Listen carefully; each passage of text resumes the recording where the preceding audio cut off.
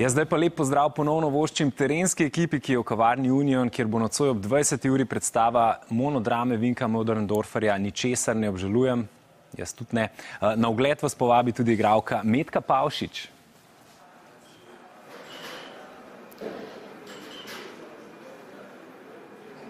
A ni to čudno? V noge me zebe, v život mi je pa vroče.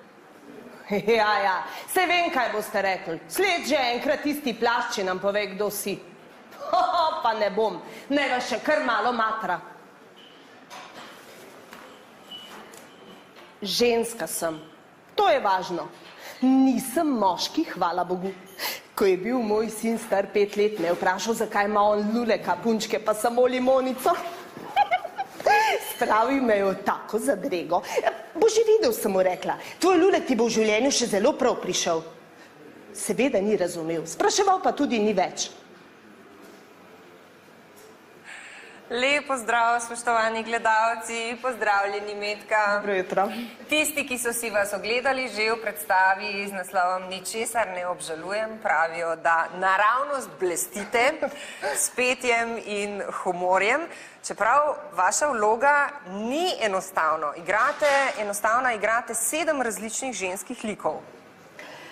E, res je, to je en e, mal poseben tekst, zame zelo čudovit tekst. Uh, govori o ženski, ki je zaprta na policijski postaji uh, po krivici in bi rada prišla ven in v tej stiski si pač izmišlja razno razne zgodbe, ampak uh, temeljna zgodba je pa ta, da bi ta ženska rada uh, postala dobra mama. Zato je dan še posebej tako uh, lepo, ker je predvečer materinskega dneva in rada bi bila dobra pevka.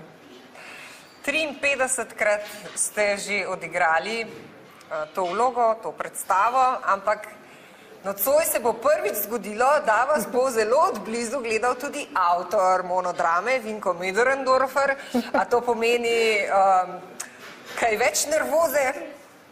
Oh, sigurno. E, e, do tega teksta imam jaz od nekdaj veliko spoštovanje in tudi do gospoda Mederendorferja, tako da um, jaz mislim, da, da bom vaje zelo, zelo delala za izgovorjavo danes, tako kot da bi bila na, na nek način nova premjera za me. Kaj pa, kakšen obred več? Metka ima namreč nekaj posebnih obredov, preden se odpravi na odar. ne, mislim, da bodo bolj dolgi, bodo pa isti.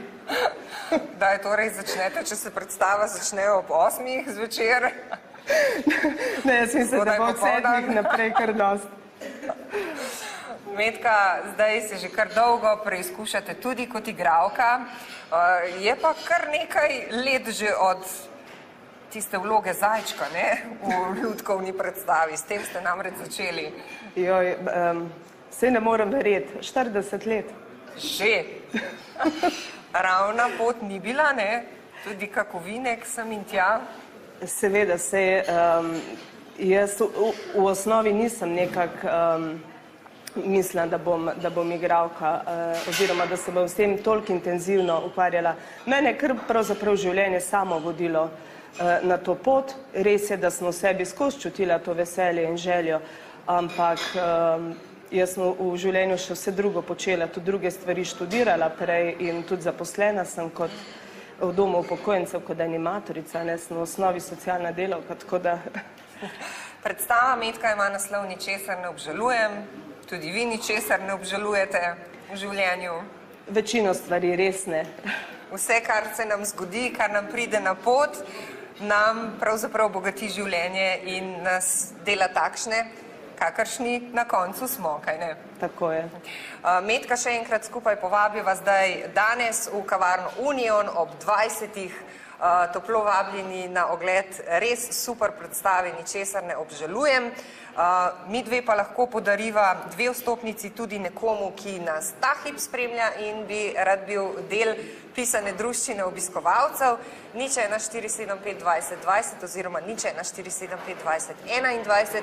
Naši dve telefonski številki za tistega, ki ima hitre prste ali pa ki že na pamet zna naši dve telefonski številki in bo hitro poklical. Samo sporočite vaše podatke oziroma potrebujemo ime in priimek in še kje prevzamete vstopnici, kar tule v kavarni Union na blagajni.